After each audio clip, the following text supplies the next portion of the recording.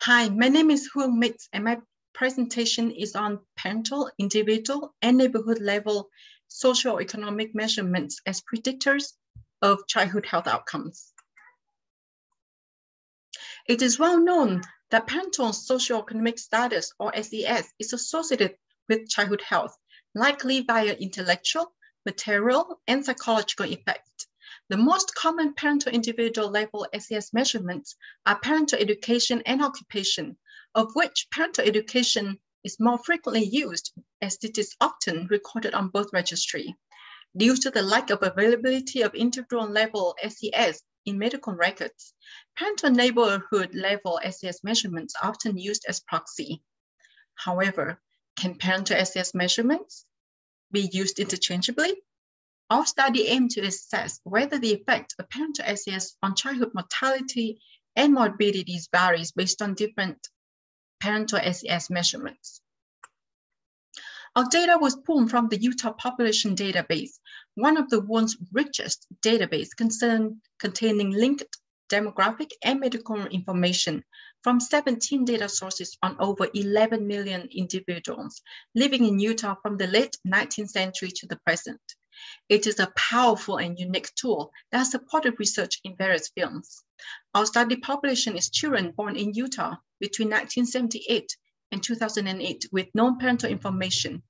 Parental SES were collected from birth certificates, including parental education, occupational status, and median household income for the census tract of the maternal residence of birth. The outcomes of interest were childhood mortality, asthma, and failure to thrive diagnosis prior to age 18.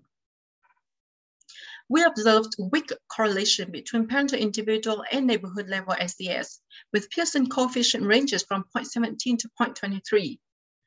The low correlation suggests that these SES measurements may capture different populations with varying demographic profile. Within individual level SES, parental education and occupational status were moderately correlated, with Pearson coefficient ranges from 0.45 to 0.52. It is important to note that parental occupations were no longer recorded in Utah birth certificates after 2008, and researchers using birth certificates have been relying on parental education, most commonly mothers, as proxy for parental occupational status.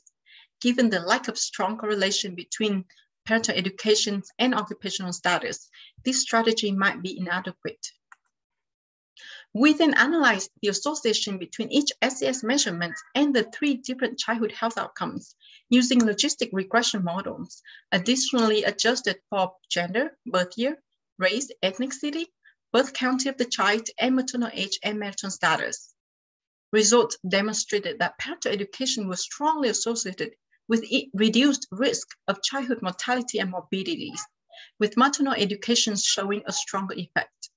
Interestingly, only parental occupational status and neighborhood household income in quartiles two and three show significantly decreased risk of childhood mortality and morbidity compared to quartile one, while increased risk of childhood asthma was observed in children with parental occupational status in the highest quartile.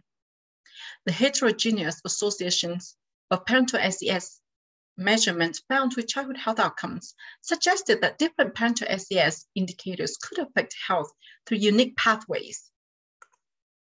In conclusion, while parental, individual, and neighborhood level SES measurements all have effect on childhood health, they signify different access to different forms of resources and life advantages, and even though correlated, should not be used interchangeably. I would like to acknowledge my team members who have contributed to this project and thank the National Institute of Occupational Safety and Health and the Utah Population Database for funding support. If you would like to learn more about my, my, my poster, please download the QR code or email me at huong.mix at sci.utah.edu. Thank you for your time.